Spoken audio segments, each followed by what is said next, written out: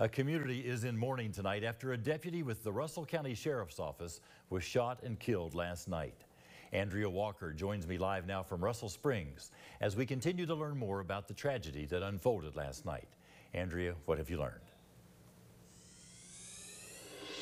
Well, Marvin, you said it right there. The Russell County community is in mourning tonight. People are absolutely heartbroken after learning that one of their own, Deputy Josh Phipps, was shot and killed in the line of duty.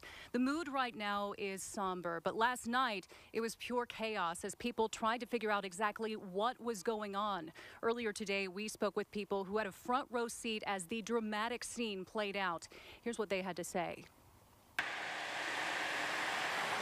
It's been a long and restless night for people living in the Lakeway Mobile Home Park in Russell Springs. Rita Campbell is one of many people who hasn't slept a wink. And I probably won't for a day or two because I'm it's just the thoughts of I could have been in there asleep because my door don't lock and he, he could run in at any time. You know, anything could happen. The he she's referring to is the man who was shot and killed by law enforcement Monday night. Deputy Josh Phipps was also shot and later died.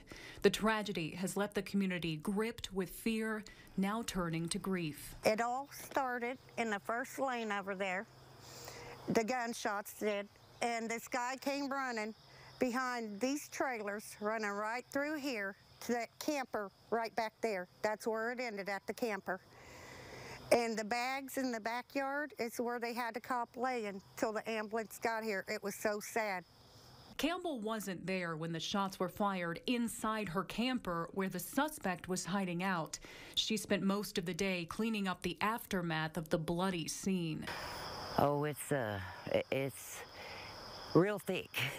and a whole lot of it. I wouldn't think a body would have that much blood in it. The community quickly rallied in support of the fallen officer, gathering outside Russell County Hospital where Deputy Phipps died as a hero.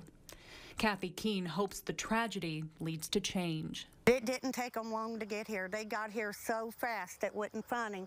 And as soon as they got here, they told everyone get inside and they grabbed their stuff and they were on the hunt and they didn't give up. And I love that. I hope to God that everybody just changes and quit being the way they are. There's an old saying that tough times bring out the best in people, and we are seeing that here tonight in Russell County.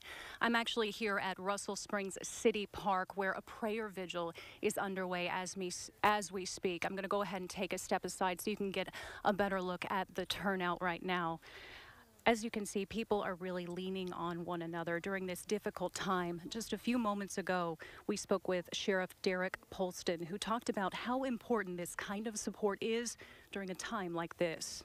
Community's always been so, so supportive. You know, the churches that's brought uh, dinners, you know, for the office staff and everybody here and the deputies. And uh, I, I couldn't be more blessed to have a community that we live in that uh, that that thinks the world of Josh, and he thought the world of them, and uh, you know he died a hero, and uh, you know he'll be sorely missed for sure. You know.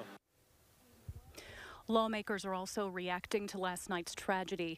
Kentucky State Senator Rick Girdler, who represents Russell County, released a statement offering condolences to all those impacted by Deputy Phipps' death, saying, quote, Deputy Phipps devoted himself to protecting and serving our community, and his loss is a stark and painful reminder of the risks faced by the brave men and women who wear the badge every day. Senator Mitch McConnell also acknowledging the tragedy today as he began his floor speech in Washington, D.C. His sacrifice is a sober reminder of the debt we owe our courageous law enforcement officials they are the first to run toward fire and the first to put themselves in harm's way to keep us safe. Today, I know the entire Commonwealth is holding Sheriff's Deputy Phipps in our thoughts and our prayers. Our Allie Root is here with me in Russell County right now. She is at the prayer vigil. She's gathering more information about Deputy Phipps. We want to get to know more about the man behind the badge. There are also still a lot of unanswered questions, including the name of the man shot and killed by law enforcement last night. We're going to have much more reaction, much more information at the top of the hour on Fox 56 News at 7. For now, reporting live in Russell County, Andrea Walker, Fox 56. Andrea, thank you very much.